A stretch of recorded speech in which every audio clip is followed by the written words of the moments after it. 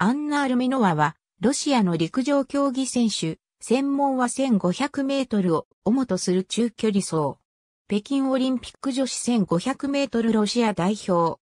2009年ロシア室内選手権1500メートル優勝者。夫はシドニーオリンピック男子棒高跳び5位、ビクトル・キスチャコフであり、ナタリア・ペチョンキナは義母にあたる。キーロフ出身。身長165センチメートル、体重50キログラム。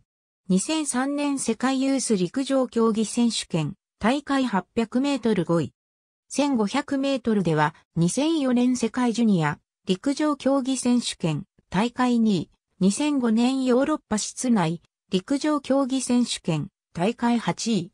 2008年には北京オリンピックに出場し11位の成績を残した。2009年3月トリノで開催されたヨーロッパ室内陸上競技選手権大会1500メートルに出場。4分07秒76の記録で優勝資金メダルを獲得した。同年9月の世界陸上競技選手権、ベルリン大会1500メートルにもロシア代表として出場したが準決勝9着に終わった。2010年3月ドーハで開催された世界室内陸上競技選手権大会1500メートルに出場し4分09秒81の記録で7位入賞の成績を残した。